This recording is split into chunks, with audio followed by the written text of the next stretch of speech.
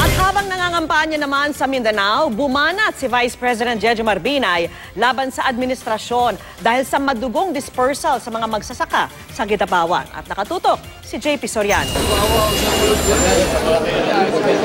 Sa South Cotabato at Maguindanao nangampanya si Una Standard Bearer at Vice President Jejo Marbinay ngayong araw. Sumentro ang mga talumpati ni Binay sa nangyaring madugong dispersal sa rally ng mga magsasaka sa Kitapawan nitong biyernes. Hindi raw maitatanggi na gutom at kahirapan ang dahilan ng protesta.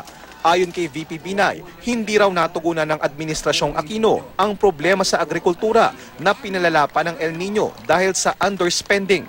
Nauna nang sinabi ng Department of Agriculture na inaksyonan nila ang problema at nagbigay sila ng tulong sa mga magsasakang naapektuhan ng El Nino.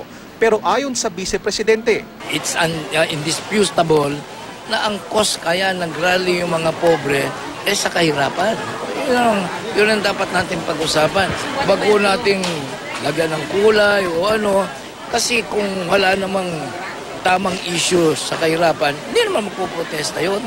Pumunta rin si Binay sa banana plantation na La Frutera sa Maguindanao kung saan mga dating rebelde ang karamihan sa mga nagtatrabaho. Sabi ni Binay, dahil 30% raw ng mga manggagawa ay nasa agri-sector, palalakasin daw niya ang post-harvest system kapag siya ay nanalo. Mula sa Maguindanao, JP Soriano, nakatutok 24 oras.